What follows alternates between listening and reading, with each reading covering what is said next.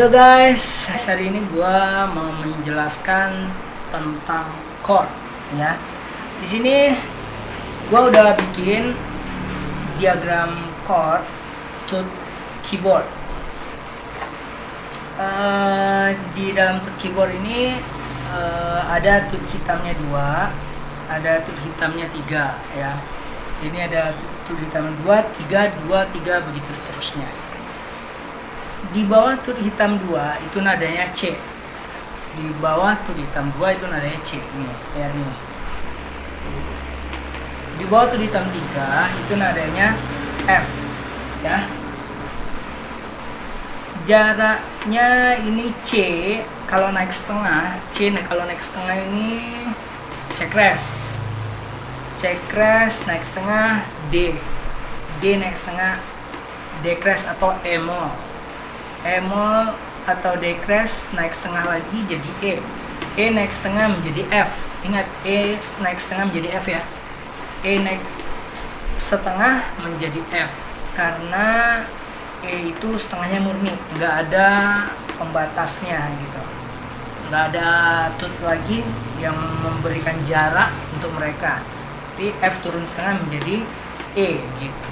Sama dengan B. B naik setengah menjadi C C setengah menjadi B gitu. F naik setengah menjadi F crash. F crash turun naik setengah menjadi G. G naik setengah menjadi G crash.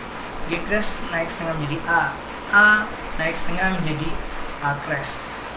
Oke. Okay? nada C. Kita mulai dari C D E F G A B. Balik lagi C D E F G A B C. C D E F G A B C. Kita hitung ya ini nada satu nada dua nada tiga nada empat nada lima nada enam nada tujuh nada delapan nada sembilan nada sepuluh sebelas dua belas tiga belas sampai situ. Nah sekarang kita membahas rumus chord chord mayor. C C mayor itu jaraknya adalah dua dan satu setengah. Kita buktikan. C turunkan. Terus tarik nada ketiga. Satu dua tiga. E. Ya E. Naik turunkan ke sini. Lalu kita tarik dari E ke nada ketiga selanjutnya. Satu dua tiga. Berarti dapat G. G nya kita turunkan Nah, menjadi nada C E G.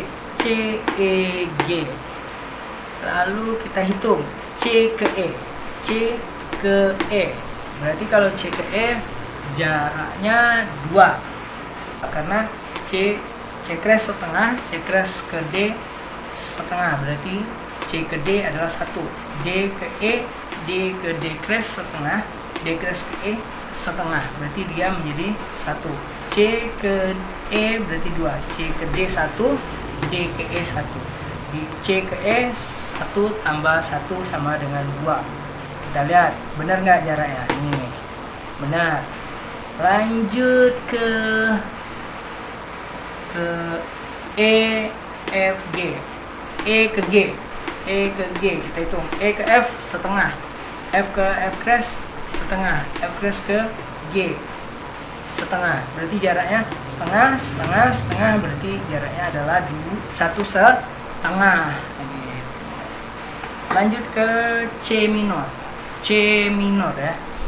C minor. C minor itu kita ambil C E G.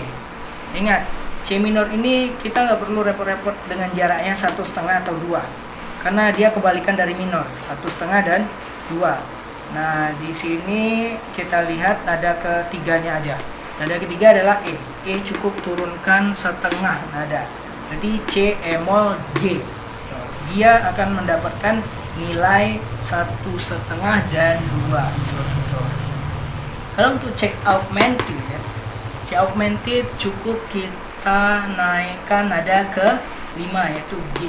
C E G crash kita naikkan nada kelima C E G. G menjadi G G crash. Lihat nih C E G crash. Jaraknya 2 dan 2 ingat jaraknya 2 dan 2 C diminis. C diminis jaraknya C E G. Kita masukkan kembali. C E G. C E G. Berarti nada ketiga dan kelima kita turunkan. Menjadi eh, nada ketiga dan kelima kita turunkan. Ini satu setengah jaraknya dan satu setengah. C ke E mol satu setengah E mol ke G mol berarti satu setengah. Dia menjadi nada C E mol G mol. Cukup turunkan nada ketiga dan kelima. Untuk chord 7 chord C. C dominan 7 ya ini C dominan 7 kita tarik C E G ini C mayor. Lalu kita tambahkan nada ketujuh. Nada ketujuh turunkan setengah.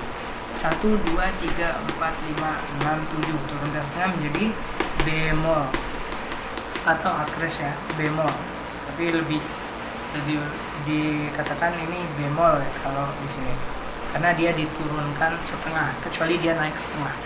C bemol B C E G bemol jaraknya dua setengah dan setengah. Ini untuk C dominan 7 cukup ambil aja nada ketujuh dan turunkan setengah nada ketujuhnya. Lalu C mayor 7 C mayor 7 nadanya asli C E G B. C E G B. Kita ambil nada ketujuh. 1 2 3 4 5 6 7 dan dia tidak diturunkan setengah seperti dominan 7 terima kasih teman-teman karena udah lihat uh, tutorial belajar mencari chord. Uh, tutorial belajar mencari chord. Thank you. Bye bye